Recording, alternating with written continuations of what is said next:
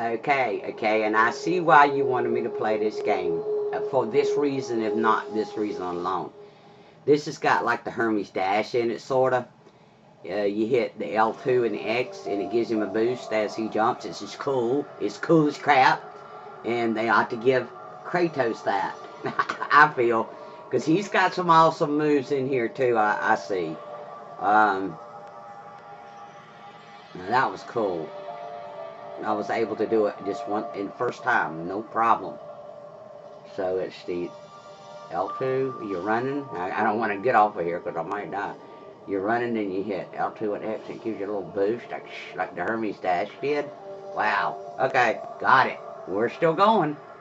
And we'll let you in if I get stopped because so far, I, I don't know how far along I am in the game. I've been playing for several hours, so anyway, nothing has stopped me yet. And usually something does and I can't get through it.